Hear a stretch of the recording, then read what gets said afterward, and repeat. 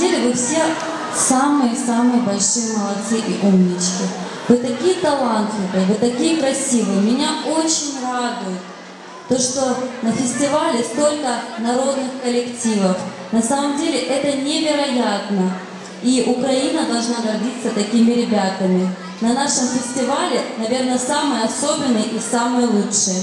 Ребята, вы готовы? Город Ровно, коллектив Полисяночка танцем Казачок Чепурненько. Ваши аплодисменты!